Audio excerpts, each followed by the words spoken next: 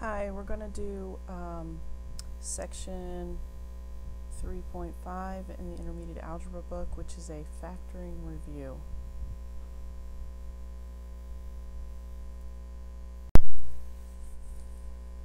Now, this is just going to be a review. I'm not going to do every example in this section because there are 28 examples. If you need a more detailed review than I'm giving right here, I will link some other videos down below in the description for more detail. We're going to start with example 2. Uh, the directions for all these examples are factor. The expression says 24 m6 n to the fifth plus 15 m squared n cubed. Uh, the first type of factoring we're going to talk about is factoring out the GCF. To factor out a GCF, you look at the coefficients, you choose the greatest common factor. The largest number that will divide evenly into 24 and 15 is 3. And then you look at your variables. You have m6 and m squared. You choose the smaller exponent. So the GCF is m squared. Same thing with the n's the GCF is n cubed. And factoring out the GCF is like undoing distributive property. So inside your parentheses, you're going to have what's left if you were to distribute this times this to give you back your original expression. So the process is a division. So you're going to take your original expression here, you're going to divide it by your GCF, and the result is going to come out in the parentheses. And 24 divided by 3 is 8. When you divide the variables, you subtract the exponents, so you'll have m to the fourth n squared. And then we do the second term. 15 divided by 3 is 5. m's cancel because they're the same, and n's also cancel because they are the same when you factor out the GCF, you should be able to distribute to get back your original expression. The next example we're going to do is example 5. Let's see. Example 5 says factor y cubed times 7y minus 4 plus y times 7y minus 4 minus 2 times 7y minus 4. Um, it is possible for your GCF to actually be a binomial, and you can see this binomial of 7y minus 4 is common. It, you see it in all three of these terms. So the GCF is the binomial 7y minus 4. So we'll bring that to the front. When you factor out a common binomial, you are taking it out of all three terms to bring to the front. So what's left in the parentheses is these terms, this part of the term that you did not factor out at the beginning. So y cubed plus y minus 2 comes from here, here, and here. All right, we're going to do example 8, which says 2y squared minus 14y minus 5y plus 35. Um, the first thing we recognize is that there are four terms here. There is nothing common for all four of these terms. In other words, there is no GCF. So to factor an expression that has four terms, we're going to cut it in half and do GCF on the front and then on the back and then overall. So we're just going to do GCF three times. So first we look here in the front.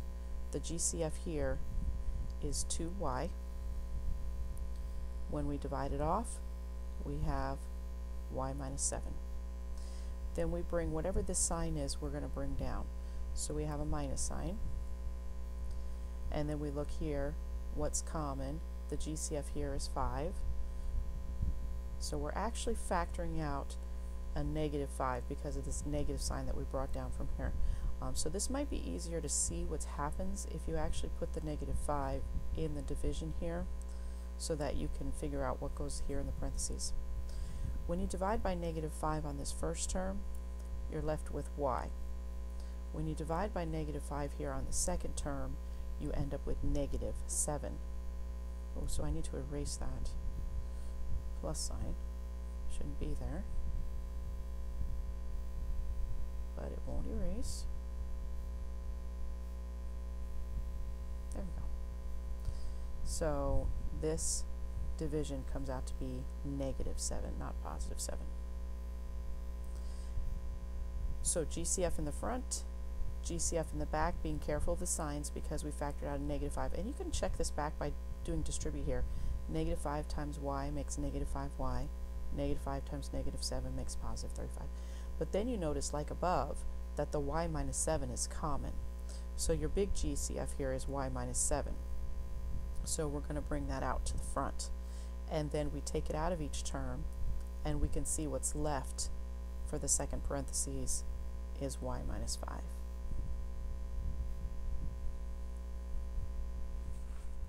The next example we're going to do, if I could scroll this, maybe.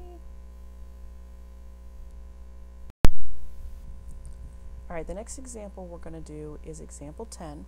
We're going to factor some trinomials. We'll start with x squared plus 7x plus 10. And if you remember about trinomials, when you multiply two binomials together using double distribute, if you remember double distribute, or what some students generally call FOIL, these binomials will multiply together and combine like terms to make a trinomial. So your job when you're factoring is to tear apart this multiplication and figure out what these two binomials should be. Of course, if we start with x squared where there's a coefficient of 1, we know that that will be x times x. And then we can talk about the signs. These are all plus signs, so generally the first sign can come down. And then if you multiply these two signs together, it will tell you what the third, second sign is. Positive times positive makes positive. So these are both positives. When you have same signs, that means your two numbers will add in the middle. If you have different signs, they will subtract. So these are an addition. So we're looking for two numbers that multiply to make 10, but add to make 7. So of course, the two numbers that multiply to make 10 would be 5 times 2, and those add to make 7. So we write the biggest one first. You can always check this by using your FOIL or double distribute and you'll see that, you know what, let's, let's do that in a different color. x times x is x squared, x times 2 is 2x, plus 5x, plus 10. And combining like terms gives you x squared plus 7x plus 10. So your factors are here.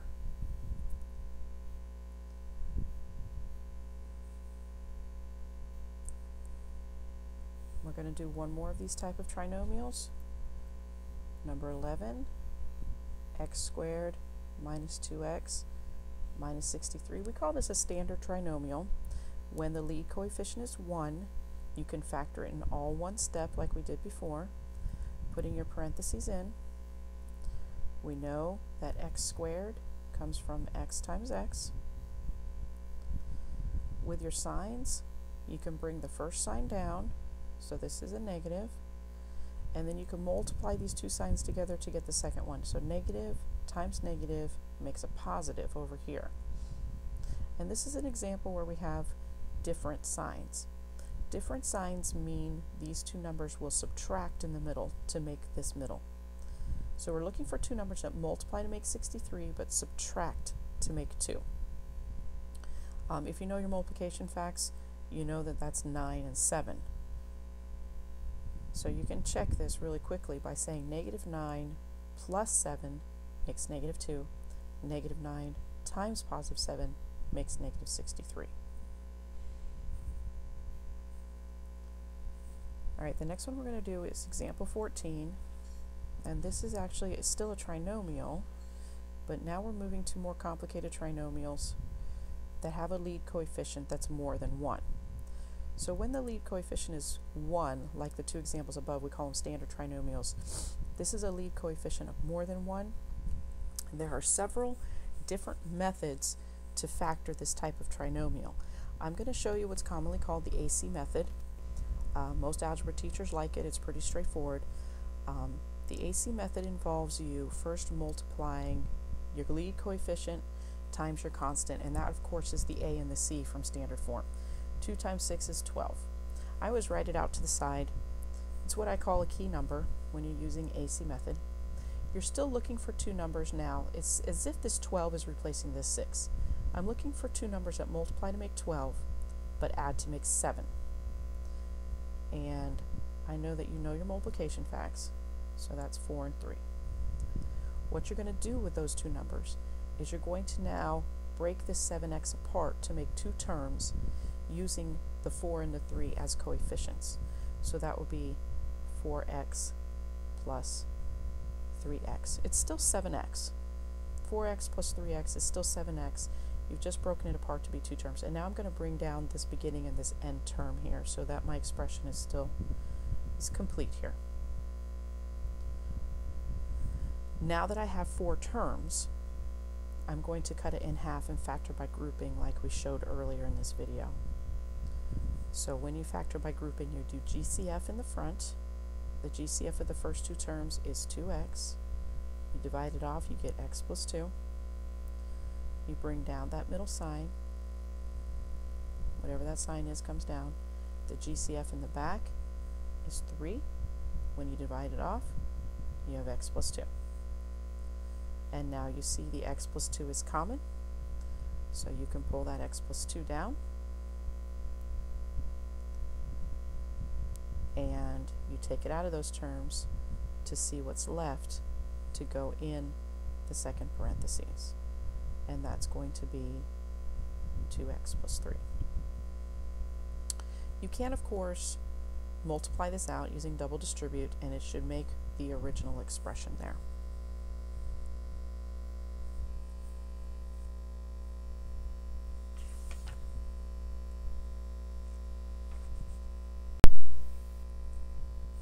Going to next work on example 20,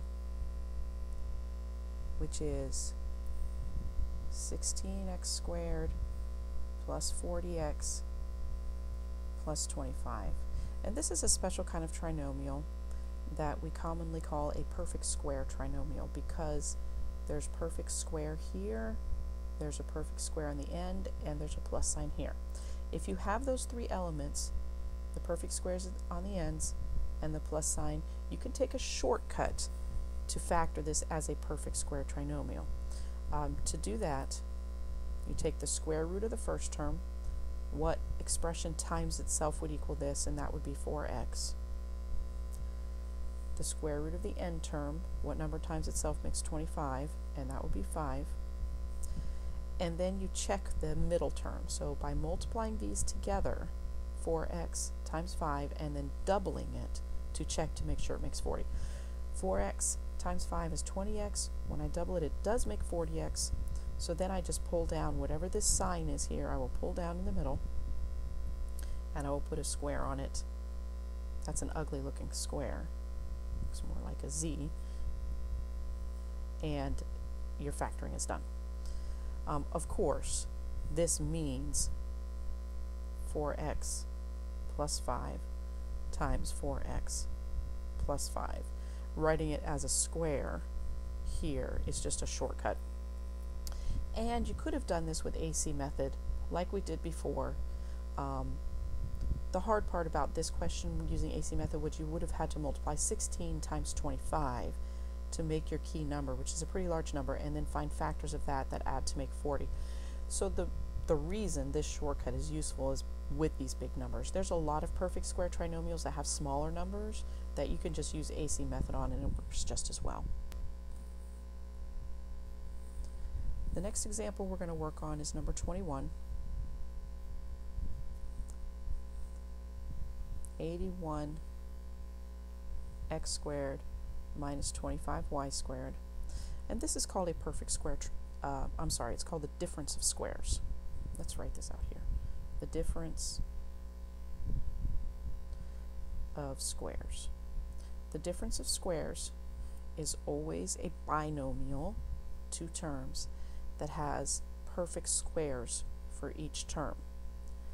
Difference, of course, meaning it's subtraction. If there's a plus sign here, it doesn't factor.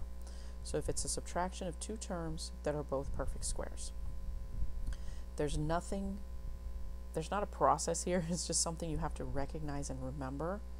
When you see it, you're going to factor it into two binomials.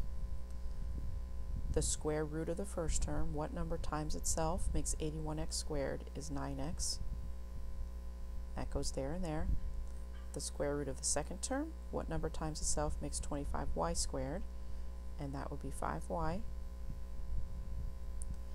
And then the signs are 1 plus and 1 minus, and that's why when you multiply this out, it makes a binomial and not a trinomial. So we're actually going to show it here so that you can understand this. 9x times 9x is 81x squared. 9x times negative 5y is negative 45xy. And then again 5y times 9x, but this time positive 45xy. And then at the back, positive times negative 25y squared. 5y times 5y. And you can see that when you get ready to combine like terms here, these middle terms cancel each other because of these opposite signs, and that's why we put opposite signs into our factors up there. So this makes 81x squared minus 25y squared. When you're factoring it, this of course would be your factors right here. This is a check to make sure it works. These are your factors right here. The next example we're going to do is number 26. It says x to the fourth minus 81. And this is like we looked at before, the difference of squares. Both of these terms are perfect squares, and there's a subtraction here. So to factor the difference of squares, we put in our parentheses, we take the square root of the first term. What number times itself gives you x to the fourth? And that would be x squared times x squared gives you x to the fourth. And then what number times itself gives you 81 would be 9 and 9. The signs are 1 plus and 1 minus. However, because of this fourth here and we have x squareds here, we're not finished because this binomial down here is difference of squares also. You see the perfect squares and the subtraction. So this binomial will factor down again. So when you're factoring, you have to factor everything down as far as it goes. This one, the, the, the addition does not factor again, so we're not going to change that one. But this one, the subtraction, does factor. So what number times itself makes x squared would be x times x. The square root of 9 would be 3 times 3, 1 plus, 1 minus. So these are your factors. And if you took the time to multiply all that out, you would get your original expression, x to the fourth minus 81. Okay, the next example we're going to do is number 28. And this is factoring using multiple methods. So we're going to start with 48 x cubed y minus 27 xy cubed. So at first glance, most students are going to look at this expression and say, I have no idea how to factor this because it doesn't look like anything I've looked at before. Whenever you're factoring any kind of expression, the first step is to look for a GCF. So when we look at these coefficients, we look for what is the largest number that will divide evenly into 48 and 27. And that happens to be, in case you didn't know it, 3. And then we look at the variables. Okay, this is an x cubed, this is an x. We choose the one with the smallest exponent, and that would be just x to the 1. Same thing with the y's. We've got a y and a y cubed. We choose the one with the smaller exponent. And now we have a GCF. To figure out what belongs in the parentheses then, we divide by the GCF. So we're going to divide this term by this, and we'll get this here. So 48 divided by 3 is 16. x cubed divided by x here. Remember you subtract those exponents, makes x squared. And the y's cancel since they're the same. Then we have a subtract, and we do the same thing with this term when we divide it by the GCF. 27 divided by 3 is 9. The x's cancel this time because there's a 1 and a 1 exponent. The y's, y cubed divided by y, subtract those exponents, gives you a y squared. Now, you look in the parentheses to see if you can factor this any further, and this happens to be the difference of squares. Perfect square minus another perfect square. Your GCF is still going to be here, it doesn't go away, but now you can factor your difference of squares. The square root of the first term is 4x, and that goes here and here. The square root of the second term is 3y, and that goes here and here, and the signs are one of each, 1 plus, 1 minus. So this would be your fully factored form here. All right, like I said before, this is a quick review of all kinds of factoring. Um, if you need more detail, check the description below this video. I'm going to link it to more detailed videos. If you want to see some more of any specific kind of factoring, uh, check out those links down below. Thanks.